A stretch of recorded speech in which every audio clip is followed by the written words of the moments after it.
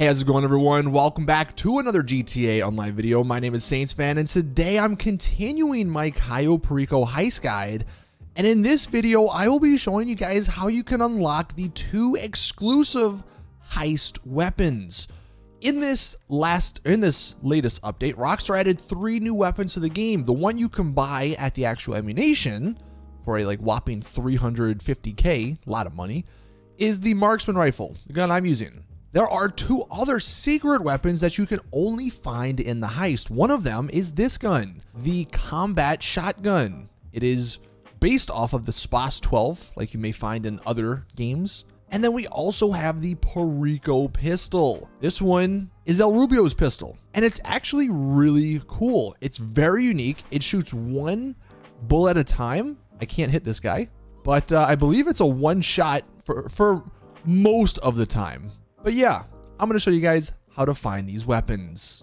So the first one is going to be the shotgun. This one's going to be a lot easier to find because there's no prerequisites. You basically just go into the compound on the island and it should be somewhere on the island. Now, I'm going to show you guys where I found it. This is actually a clip from my live stream because I have yet to look for it again. But uh, when I was live streaming, we found it by the pool. This seems to be the area it spawns in frequently.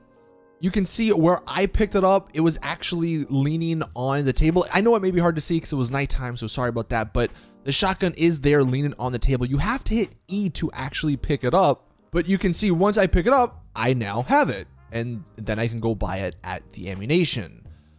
I've seen another location actually be slightly to the right of the pool and there there's like a courtyard. I'm shooting it here in the gameplay. One of my buddies actually found it leaning on one of the the plant pots over there. So that's another location. The other third location i've seen it in is by the pool but basically closer to the middle of the island. So like where i found it was on the table if you on the other side of the pool, it was leaning on something over there. That's another spot one of my friends found. So the combat shotgun seems to be somewhere by the pool area in the heist. Now, what's unfortunate is only one person can pick it up.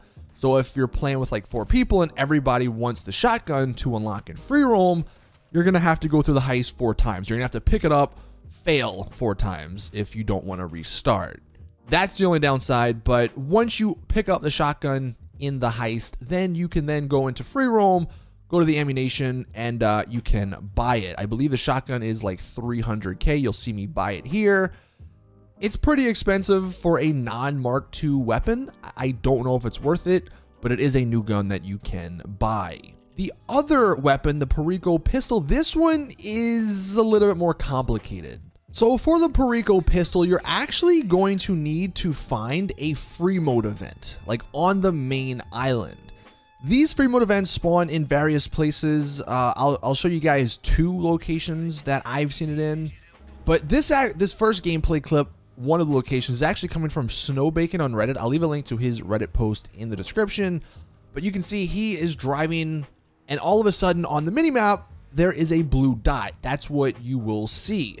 This one is outside of this bar, and uh, all it is is a guard that is sleeping. You walk up to the guard, and then you loot them. This guard gives you the key to unlock the Perico pistol. So that's one of the locations. Now, my friend actually found another location by the train tracks down south of the city. And what's actually kind of interesting is even though he had the free mode event, I could loot the body. So I ended up getting the key, even though there was nothing on my screen.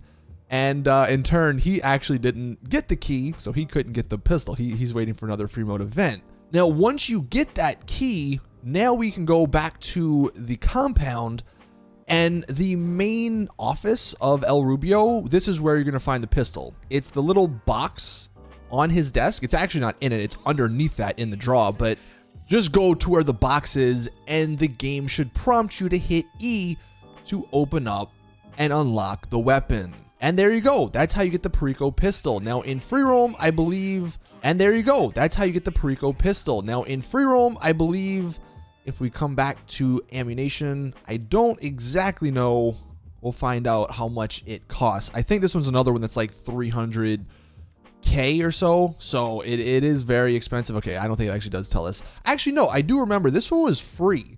I don't know if this was free just for me, like if it was a glitch, but this one I actually did not have to pay for once I unlocked it in the heist. So this may be something that uh, just everyone should get since you don't have to pay for it.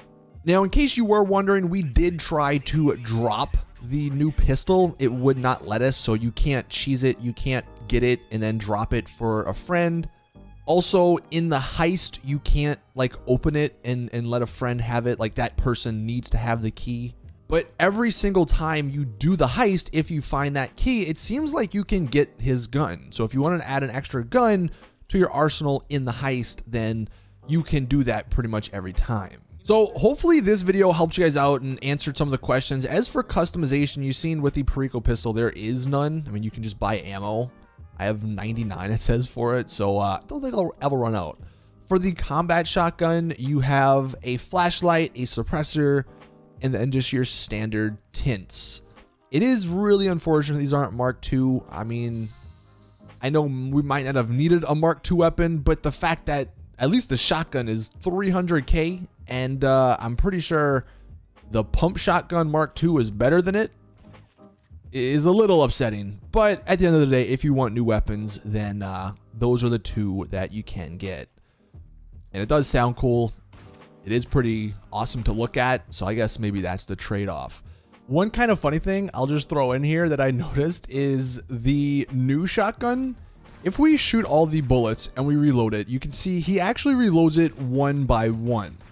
So he has to put like the six different whatever slug or whatever it's called in there where like on the old shotgun or the pump mark II, we have eight bullets total. And if we shoot all eight of them, all we have to do is put one little thing in and it refills the whole mag or that's not a magazine but it, it, refills like the entirety of the gun i don't know if that helps your decision if you want to buy the new gun or not but uh, you do have to reload every single shot rather than like on the other guns where it just reloads it once yeah, that's it.